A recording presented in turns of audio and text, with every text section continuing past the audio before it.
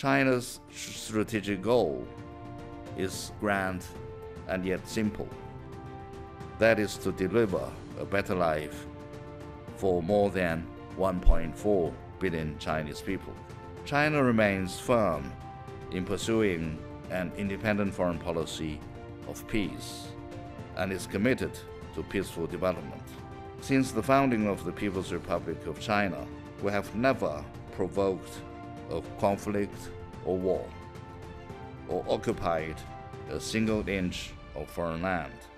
China does not seek to change the current international order, still less reinvent the wheel by creating a new international order. We are one of the builders of the current world order and have benefited from it.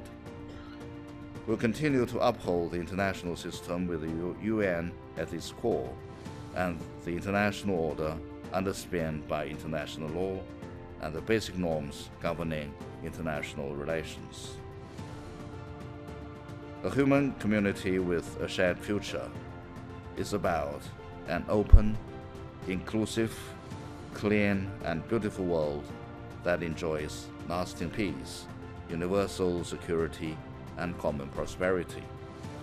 To build it, we have proposed the Global Development Initiative, the Global Security Initiative, and the Global Civilization Initiative as the strategic guidance, and the Belt and Road Initiative as a practicing platform.